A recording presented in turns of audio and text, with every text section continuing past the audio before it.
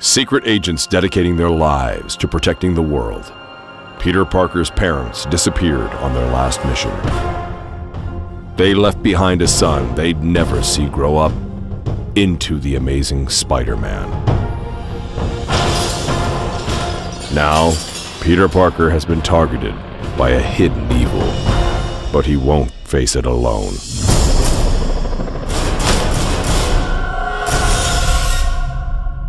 Who are you? My name is Teresa Parker.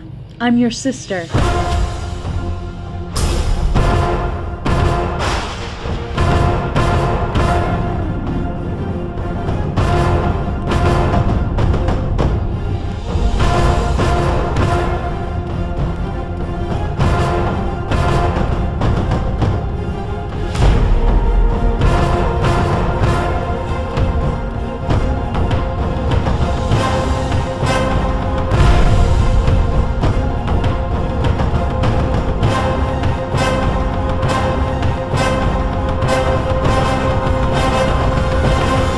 Amazing Spider-Man Family Business.